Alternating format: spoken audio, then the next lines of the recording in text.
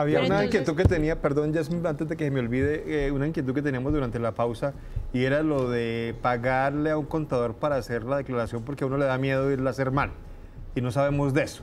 Y entonces poníamos aquí el ejemplo de que usted llega y paga a un contador y al final el contador le dice, no, usted no tiene que pagar nada.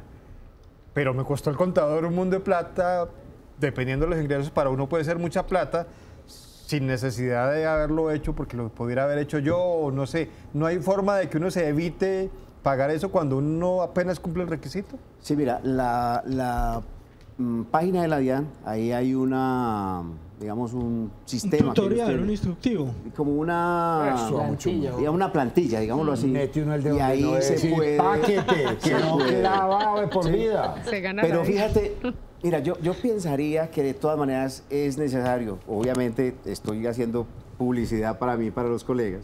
Pague, contador. Porque, no, es que fíjate, hay una serie de, de, de términos que son muy técnicos y que si tú no los sabes utilizar, entonces te puedes, eh, puedes cometer Pero un error. una persona que tenga un salario de 5 millones de pesos y un patrimonio de 300 millones de pesos, listo, lo declara. Requiere tener contador, porque no tiene más, o sea, no tiene ningún otro enredo. Tiene un ingreso fijo por una empresa Uy, y Nacho, tiene un sí es patrimonio. mejor que pague Sí, contador. mira, es que, Sí. pero te digo, mira, si tú Solo no- por esas dos cosas. Bueno, si Pero tú no Nacho, ¿qué haces- Pero con suman. 200 mil pesos para un contador? No, Pero sí. ¿cuánto puede cobrar? No, aquí, vea, por- ¿Cuánto, ¿Cuánto es el promedio que le No, puede cada eh, quien eh, valora las mi- No, sí, no, puede contador ponerle de la- 20 mil y sí. 30 mil pesos hasta de 550 por aquí me hizo un televidente. Sí. Total, total. Pero Bueno, entonces una persona pero- que tenga ese ingreso y, y ese patrimonio requiere o vaya de tranquilo y meta en internet y lo hace. Lo puedes hacer, perfectamente lo puedes hacer, pero obviamente estás corriendo el riesgo de que, de que eh, digamos, clasifiques. Un Y usted es contador. Yo soy Y contador. nos da descuentico aquí para contratarlo. Yo va a tocar aquí ya buscar eh, economía de escala, José. Para los la televidentes. Nacho, no, supone que, que el que, pues no sé, ya nos, nos explicará nuestro invitado. El contador también cobra dependiendo de, de los ingresos de la persona, ¿no? O generalmente una Sí, declaración mira. vale lo mismo O es una tarifa No. fija. y- No, no. independiente de que la persona se gane 5 millones o 2 millones mensuales.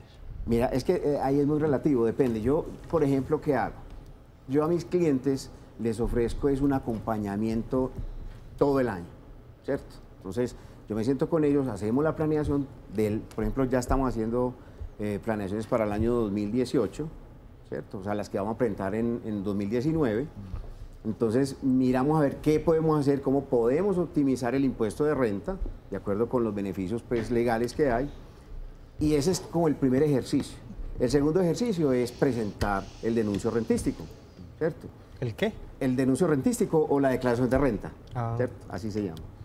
Y eh, lo otro es, mira, si tú tienes una venta de un inmueble durante el año, ahí estamos nosotros. Si la DIAN te escribió por cualquier requerimiento que te quiso hacer, ahí estamos nosotros haciendo el acompañamiento. Entonces fíjate que eso tiene unas tarifas muy diferentes a una persona que simplemente te hace la declaración. Tú le presentas los papeles y te hace la declaración, es muy diferente. Un John Jairo, pensionado, un es. pensionado gana 1.800.000, Ajá. no tiene que declarar. Los pensionados, No, ¿a partir de qué fecha? Los de- ¿Qué monto? de- ¿A partir de qué monto? 382 millones de pesos en el año.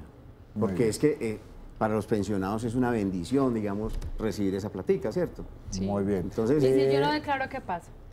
Y debe declarar. cuídate, cuídate. Le escribe DIAN. la DIAN. Te escribe la DIAN. ¿Y qué pasa? Y mira, la DIAN tiene cinco años para escribirte. Y adivina en qué año te escribe. En el En el quinto. último. Casi en el quinto. 4.90. Donde, Y le acumulan todos esos cinco años. Claro, y la Claro. sanción ya está así de onerosa. Entonces tenemos casos de personas que han tenido que vender un apartamento, un carro para pagar solo la sanción.